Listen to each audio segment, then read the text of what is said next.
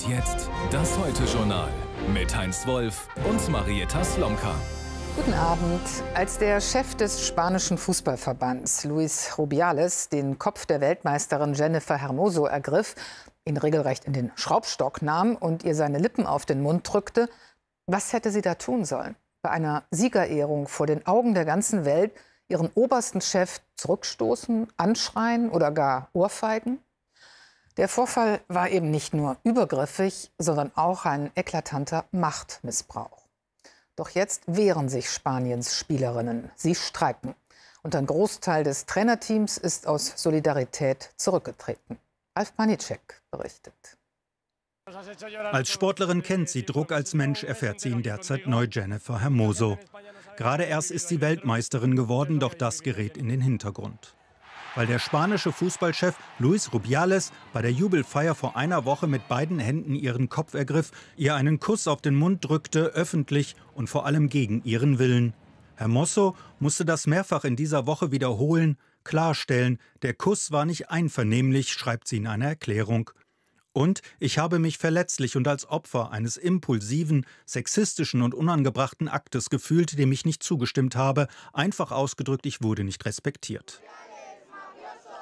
Jennifer Hermoso bekommt Zuspruch. Die rote Karte zeigen Demonstranten vor der Zentrale des Fußballverbandes dem Funktionär und dem Verband, auch für die Art und Weise, wie mit dem Fall umgegangen wird. Viele fordern den Rücktritt Rubiales.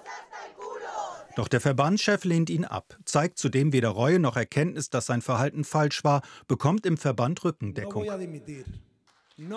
Ich werde nicht zurücktreten, ich werde nicht zurücktreten. Gleich fünfmal wiederholt Rubiales diesen Satz auf der außerordentlichen Versammlung des Verbandes und erhält dafür viel Applaus. Rubiales stellt sich vielmehr selbst als Opfer dar, bezeichnet Hermoso als Lügnerin. Es gab keine Verlangen meinerseits und keine dominierende Handlung. Jeder versteht das, auch wenn das Gegenteil behauptet wird, vor allem von denen, die den falschen Feminismus ehren, eine große Geißel in unserem Land. Für den Fußballweltverband FIFA aber reicht es. Die Disziplinarkommission suspendiert Rubiales heute vorübergehend, verbietet ihm jeden Kontakt zur Spielerin. Viele in Spanien wollen auch den Rücktritt Rubiales. Ich bin total gegen das, was dieser Mann gemacht hat, denn er greift unsere Integrität als Frauen an. Wenn er meiner Tochter den Kuss gegeben hätte, das würde mir nicht gefallen. Und ich finde, es ist dadurch völlig in den Hintergrund geraten, dass wir die Weltmeisterschaft gewonnen haben. Wenn wir wollen, dass sich der Frauenfußball und sich die Gleichberechtigung weiterentwickeln, wir die Gleichberechtigung der Geschlechter wollen, dann ist es logisch, dass der Rücktritt kommen muss. Dabei haben Spaniens Sport und vor allem der Fußball seit Jahrzehnten strukturelle Probleme mit Übergriffen und Sexismus, mit Trainern wie Ignacio Corredas, der jahrzehntelang seine Spielerinnen quälte, oder dem jetzigen Weltmeistertrainer Jorge Wilder, dem viele Spielerinnen maßlose Härte und Übergriffigkeit vorwerfen, ohne Folgen. Auch deshalb stellen sich viele Sportler auf die Seite Hermosos. Wir sind mit dir, Jenny, ein Statement, das zunehmend Bedeutung gewinnt, aus Solidarität mit Jennifer Hermoso und damit sich etwas ändert. Es geht schon lange nicht mehr um Fußball. Ein Politiker ist dank einer offenen Demokratie zum stellvertretenden Ministerpräsidenten aufgestiegen, schimpft aber weiter über die da oben und dass man sich die Demokratie zurückholen müsse. Der Auftritt von Hubert Aiwanger vor gut zwei Monaten in Erding ging selbst Markus Söder zu weit, der nicht im Verdacht steht, bei politischem Populismus eine allzu niedrige Toleranzschwelle zu haben. Wenn Aiwanger allerdings in jungen Jahren tatsächlich ein antisemitisches Flugblatt geschrieben hätte, das über den Holocaust spottet, dann hätte Söder es nicht bei einer hochgezogenen Augenbraue belassen können. Zum entsprechenden Bericht der Süddeutschen Zeitung hat es heute Abend aber eine Erklärung und eine Entschuldigung gegeben von Aiwangers Bruder. Brigitte Saar berichtet. Einen eindeutigen Beweis hat die Süddeutsche Zeitung nicht. Es bestehe der Verdacht, formuliert man vorsichtig, dass der bayerische Freie Wählerchef Hubert Aiwanger als Schüler ein antisemitisches Flugblatt verfasst haben soll.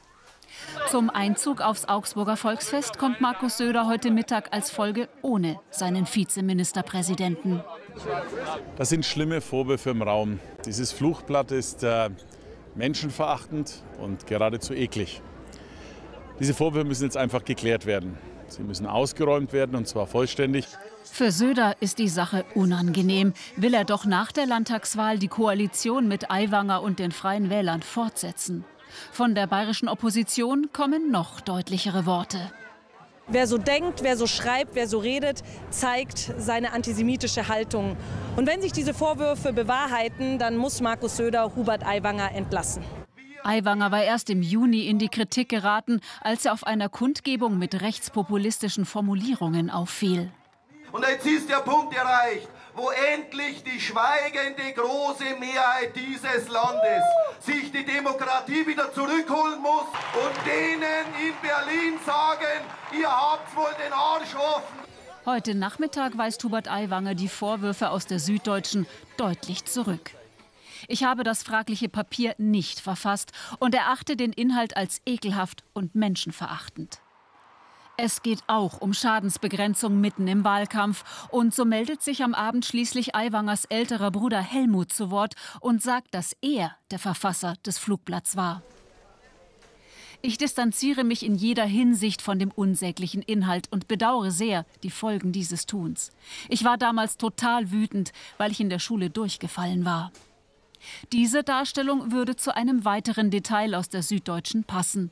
Das Flugblatt soll auf derselben Schreibmaschine getippt worden sein wie einst Hubert Aiwangers Facharbeit aus der Schulzeit. Und dann noch die Frage an unseren Korrespondenten in München, Stefan Leifert. Stefan, ist die Sache damit jetzt abgeräumt oder kann das im Wahlkampf noch eine Rolle spielen? Nein, auch wenn sich der Bruder jetzt zu erkennen gegeben hat als Verfasser dieses Dokuments, bleiben doch eine ganze Reihe von Fragen, die Hubert Aiwanger begleiten werden, wie es zu einem solch antisemitischen Pamphlet im Hause Aiwanger kommen konnte. Der Tag heute zeigt sicher auch, wie schmutzig die nächsten Wochen jetzt werden könnten. Und er zeigt, was auf dem Spiel steht. Die Reputation eines bayerischen Vizeministerpräsidenten auf der einen Seite, auf der anderen Seite die von Bayerns wichtigster Zeitung. Da steht jetzt Aussage gegen Aussage. Beide Seiten bleiben bei ihren Versionen. Hubert Aiwanger wird jetzt mit der Erzählung in den Wahlkampf gehen, dass hier eine Hetzkampagne gegen ihn laufe. Also das Ganze könnte auch noch in einer juristischen Auseinandersetzung am Ende vor Gericht münden. Zumindest hat ein Sprecher Aiwangers das so angekündigt. Mhm. Und Stichwort Wahlkampf. Wie ist denn eigentlich das Verhältnis zwischen Markus Söder und Aiwanger? Herzlich war es nie, aber so pragmatisch, dass man in den letzten fünf Jahren relativ geräuschlos regiert hat und so pragmatisch, dass Markus Söder sich vor langer Zeit schon sehr klar festgelegt hat auf die Freien Wähler mit Hubert Aiwanger als auch den künftigen Koalitionspartner. Daran gab es in der CSU schon immer viele, die gezweifelt haben, ob diese Koalitionsaussage so klug ist. Das hat sich mit Erding verstärkt und mit dem heutigen Tag ist die Zahl der Zweifler daran in der CSU sicherlich nicht kleiner geworden. Dankeschön nach München, Stefan Leifert. Und mit dem Blick auf die Ampelkoalition in Berlin geht es jetzt bei dir weiter, Heinz. Die Kindergrundsicherung ist kurz vor der Kabinettsklausur in Meseberg am kommenden Dienstag und Mittwoch immer noch ein strittiges Thema in der Regierungskoalition. Vor allem zwischen Familienministerin Paus von den Grünen und Finanzminister Lindner von der FDP. Nun wollen Bundeskanzler Scholz und auch SPD-Chef Klingbeil eine Klärung bis nächste Woche. Aus der FDP-Fraktion heißt es dagegen, mit einer Einigung bis zum Ende der Klausur in Meseberg sei nicht zu rechnen. Ich wünsche mir, dass ähm, diese Sachen auch geräuschloser verlaufen, dass man miteinander verhandelt, ist völlig in Ordnung. Da gibt es unterschiedliche Interessen, aber für mich ist auch klar, nächste Woche muss es ein Ergebnis geben. Da appelliere ich auch an die Kolleginnen und Kollegen der SPD-Fraktion, inklusive des Kanzlers, da nicht Zeitdruck zu machen, um des Zeitdrucks und einer Einigung willen, die am Ende zu kurz greift weil wir politisch und die Details so noch nicht geklärt haben können. In Niger hat die Militärjunta, die dort vor einem Monat die Macht übernommen hat, die Streitkräfte in höchste Alarmbereitschaft versetzt, weil die Gefahr eines Angriffs gestiegen sei. Die westafrikanische Staatengemeinschaft ECOWAS hatte nach dem Putsch mit einem militärischen Eingreifen gedroht und beschlossen, eine Bereitschaftstruppe dafür zu aktivieren. ECOWAS fordert die Wiedereinsetzung des gewählten Präsidenten. Die NASA und das private Unternehmen SpaceX haben vier Raumfahrer zur internationalen Raumstation ISS geschickt. Ein Tag später als geplant sind die vier aus den USA, Russland, Dänemark und Japan vom Weltraumbahnhof Cape Canaveral gestartet. Die Crew soll morgen auf der ISS ankommen, dort die aktuelle Besatzung ablösen und rund sechs Monate im All bleiben. Der ukrainische Generalstab hält sich über den Kriegsverlauf relativ bedeckt. Aber verschiedene Quellen berichten, dass die ukrainische Armee in der Region Saporischia weiter vorrückt. Ein Kampf um jeden Meter, bei dem Soldaten nicht nur ihre körperliche Unversehrtheit, gar ihr Leben verlieren können, sondern auch ihr Seelenheil. Die Kampfbereitschaft der Ukrainer ist zwar hoch, aber deshalb sind sie nicht gegen Traumatisierung gefeit. Unsere Reporterin Anne Brühl berichtet, wie die Armee versucht, auch die psychischen Verwundungen ihrer Soldaten zu lindern. Vitali Ivanov will jede Sekunde hier einfach nur genießen. Normalerweise ist er Soldat, kämpft an der Front bei Kupjansk. Jetzt hat er 14 Tage frei und erholt sich bei der Reittherapie. Sehr gut, aber das Pferd gehorcht mir nicht mehr richtig. Es hatte wohl zu viel Futter. In Kharkiv unterhält das ukrainische Militär eine Erholungseinrichtung für Soldaten. Seit Sommer letzten Jahres gibt es das. Sport, verschiedene Therapieangebote, viele Gespräche. Wir arbeiten mit psychologischen Problemen, die bei den Militärs entstehen. Das sind erhöhte Ängstlichkeit, das kann Aggressivität sein, Kommunikations- und Verhaltensstörungen, Suizidgedanken. Das Trauma des Kriegs, auch Vitali weiß, wie sich das anfühlt. Er verbrennt ein Bild, das er gemalt hat, weil er einfach nur vergessen will, was er beim Kampf um Bachmut erlebt hat. Drohnen flogen über uns und wir wollten nicht, dass sie uns bemerken. Dann haben sie uns doch bemerkt. Dieser 120 mm Mörser hat alle meine Waffenbrüder getötet. Die starben alle vor meinen Augen. Ich bin der einzige Überlebende. Vitali Ivanov ist ganz im Hier und Jetzt. Abschalten, ablenken, auf andere Gedanken kommen. Wenn ich hier bin, kriege ich gar nicht mehr mit, dass es Krieg gibt. Es ist wie früher, noch vor dem Krieg. Still, ruhig, hervorragend. Positive Emotionen. Auch seine Frau kann mit dabei sein, das ist ihm wichtig. Die Familie sagt, er muss so viel auffangen, so viel verstehen, obwohl sie sich seit Kriegsbeginn nie länger gesehen haben. Sich nach eineinhalb Jahren wiederzusehen, das bedeutet einem viel. Eine Auszeit, einen geschützten Raum für alle. Auch darum geht es bei der Therapie. Nicht nur Soldaten leiden unter Stress, alle anderen auch. Alle Ukrainer sind durch den Krieg gestresst. Es sind diese täglichen Bombardierungen, täglichen Raketenangriffe der Russen. Sie alle hier wissen, je länger dieser Krieg dauert, desto größer wird die Aufgabe, die noch auf sie zukommt. Zurück nach Deutschland. Schwere Unwetter sind am Nachmittag über den Südwesten von Deutschland gezogen. In Kissing bei Augsburg rissen starker Wind und Hagel ein Bierzelt mit sich, als es gerade aufgebaut wurde. Laut Polizei wurden dabei mindestens zwölf Personen verletzt, sechs davon schwer.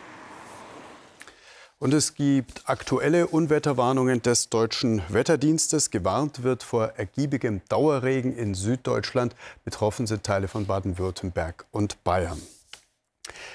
Die weiteren Aussichten beim Wetter sind. Morgen regnet es im Südosten anhaltend. Anfangs sind auch noch Gewitter möglich. Sonst ist es sehr wechselhaft, am längsten freundlich im Nordosten. Das bei nur noch 16 bis 24 Grad. Die neue Woche beginnt mit 13 bis 21 Grad sehr wechselhaft. Im Südosten mit Dauerregen. Erst am Mittwoch werden Regen und Regenschauer deutlich weniger, bei dann 17 bis 22 Grad. Und jetzt noch die Lottozahlen dieses Samstags. Sie lauten, wie immer ohne Gewähr, 7, 12, 36, 37, 39, 42. Superzahl 2. Und weitere Gewinnzahlen finden Sie auf lotto.zdf.de und im ZDF-Text auf Seite 556. Das war's von uns. Gleich geht's mit dem aktuellen Sportstudio weiter und Heinz meldet sich später nochmal. Ja, mit der nächsten Heute Express gegen 0.25 Uhr. Wir sehen uns morgen wieder. Auf Wiedersehen. Wiedersehen.